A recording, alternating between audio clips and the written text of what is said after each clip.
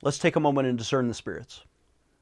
This woman, Barronelle Stutzman, is a hero who is manifesting the Spirit of God in her conscience.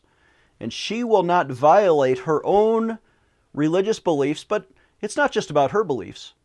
It's about her choosing not to endorse the sin of the homosexual couple.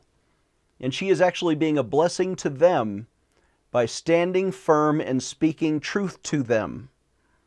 Because there will be a day when, uh, after they've lived their life of pleasure and sin, and after they have manifested all kinds of demonic uh, spirits that not only enjoy their own sin but persecute the Christian woman for not endorsing that sin, that they will be held accountable before God. And someday, when they're standing before God, they'll, God will ask them, Didn't you know this was wrong? And they'll have to admit, Yes, you know, that, that gentle Christian woman told us it was wrong. And she is manifesting a prophetic spirit of righteousness, and she is being persecuted for that. The Bible says in Matthew chapter 5 Blessed are those who are persecuted for righteousness' sake, for theirs is the kingdom of heaven. And I predict Barronelle Stutzman will have her reward in heaven, even while she is punished here on earth.